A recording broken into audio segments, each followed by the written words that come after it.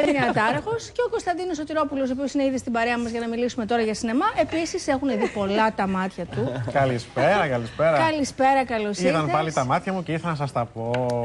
Τι είδανε τα μάτια σου και ήρθε να μας τα πεις; Η Παρασκευή δίνει λοιπόν τη σκητάλη στο Σαββατοκύριακο και είμαστε εδώ για να προτείνουμε ιδέες για ενδιαφέρουσες συνεξορμήσεις. Και ξεκινάω με την πρώτη μας πρόταση, η ταινία Σουφραζέτες.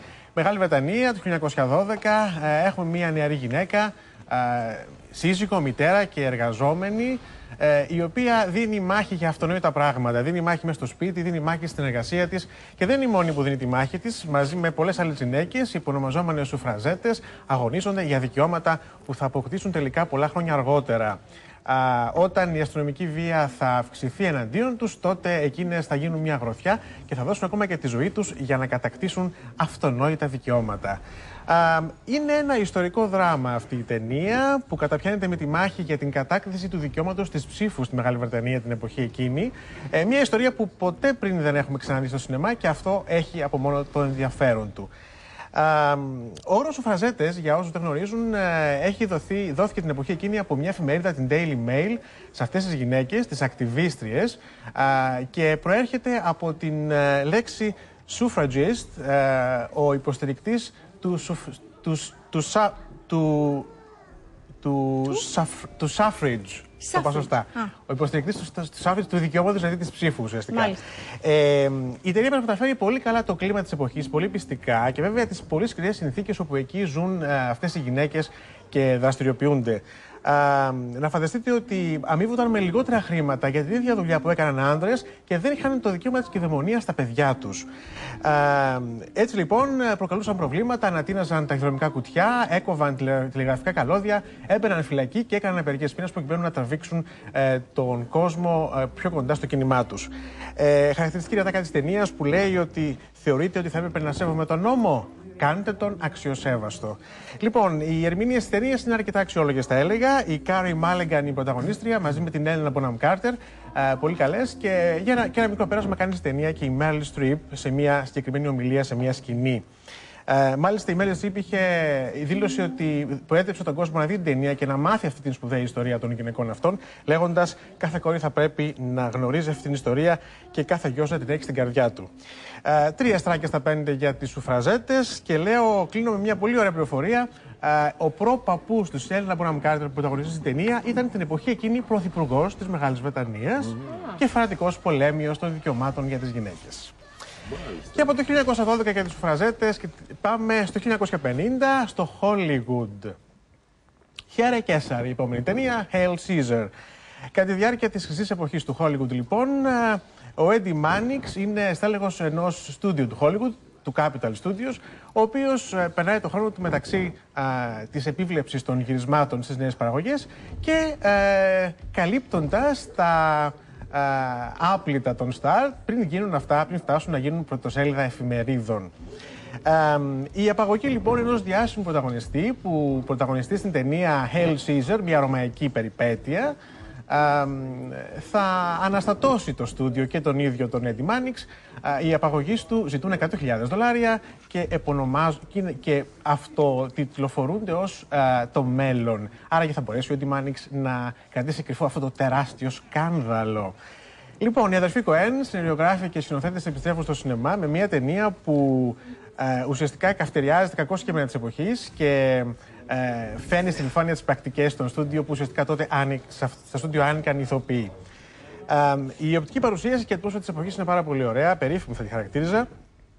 Και το, το, το cast, το επιτελείο των ηθοποιών, τίποτα λιγότερο από σπουδαίο. Και θα τους πάρω έναν έναν. Ο Τζος, ο Κλούνι είναι υποδίεται τον πρωταγωνιστή της ρωμαϊκής ε, περιπέτειας που απάγεται. Έτσι. Ο Τζος Μπρόλιν υποδίεται τον, ε, το στέλεχος του στούντιο ε, που όλα περνούν από τα χέρια του. Η, ε, ο Ray Fiennes, ε, απολαυστικός επίσης, υποδίεται ένας σκηνοθέτη που δίνει οδηγίες στον ε, πρωταγωνιστή της ταινίας του, ο οποίος δεν το έχει τόσο πολύ. Η Σκαλέτ Γιώχανσον ε, εμφανίζεται ως γοργόνα σε μια παραγωγή που γυρίζεται, η οποία είναι ε, άγαμη και έγκυος. Κανένας δεν ξέρει ποιον ανήκει το παιδί, ούτε νομίζω και η ίδια δεν ξέρει. Ο Channing Tatum, ο οποίος εμφανίζεται να παίζει σε musical, χορεύει, τραγουδά ως ναυτάκι. Και τέλος η Frances McDonald, η οποία εμφανίζεται σε μόνο μια σκηνή αλλά κλέβει την παράσταση. Ισορροπώντας λοιπόν ανάμεσα στη Σάτερα και τα κακό κύπρα του Hollywood, αυτή η ταινία μας μεταφέρει πολύ καλά το κλίμα της εποχής και νομίζω ότι τρία στράκια είναι μια χαρά. Θα την ήθελα λιγάκι πιο ιντριγκαδόρικη προς το τέλος και το χιούμορ της λιγάκι πιο καυστικό από ό,τι είναι. Και κλείνουμε με ερχόμενοι στο σήμερα, εσύ πια, μετά το 1950 και το Hollywood, ε, και στην ταινία Deadpool. Λοιπόν, η ταινία μας παρουσιάζει την ιστορία ενός ανθρώπου που ήταν στις ειδικές δυνάμεις, του, ε, του Wade Wilson, ο οποίος πήγε μισθοφόρος. Ε, θα γνωρίζει την γυναίκα της ζωής του, αλλά σύντομα τα για την υγεία του δεν είναι τόσο καλά. Πάσχει από καρκίνο, έχει λίγες μέρες ζωής, όμως θα, θα συμμετάσχει σε ένα πείραμα. Α, το πείραμα αυτό θα του σώσει τη ζωή, αλλά όμως με ένα μεγάλο τίμημα. Και θα προσπαθήσει να κυνηγήσει και να εκδικηθεί αυτόν που τον έχει φέρει στη δύσκολη κατάσταση στην οποία βρίσκεται. Ένας ακόμη ήρωας λοιπόν της Marvel, είναι ήρωας της Marvel ο συγκεκριμένος, έχετε πάρει στο σινεμά, αλλά αυτός δεν είναι ένας ακόμη της σειράς, είναι κάπως διαφορετικός. Ε, δεν πρόκειται ακριβώς για έναν ήρωα με σούπερ ικανότητε, αλλά για, έναν, ε, για μια ιδιαίτερη περίπτωση αντίρωα. Ε, τα, τα χαρακτηριστικά του είναι αθυρόστομος, είναι αυτοσαρκαστικός, ε, ένας τύπος αρκετά χήμα θα έλεγα, ε, ξεχυλήσει από τεστοστερόνη και αδεναλίνη, οπότε υπηρετεί πολύ καλά την περιπέτεια, αλλά και είναι εξαιρετικά δραστήριος σεξουαλικά. Ε, τον ήρωα υποδίεται ο Ryan Reynolds, ο οποίος ε, κάνει θαυμάσια το ρόλο του θα έλεγα, ε, και η ταινία αυτή έχει χαρακτηριστεί ακατάλληλη κάτω των 18 ετών. Η πρώτη στην ιστορία ενός κομικού ήρωα που είναι ακατάλληλη κάτω των 18. Γιατί, Γιατί έχει και το γυμνό. Όσοι και όσες είχαν την επιθυμία να δουν τον πρωταγωνιστή γυμνό, ολόγυμνο, θα το δουν στην ταινία. Ε, πολύ σεξ και αρκετή βία.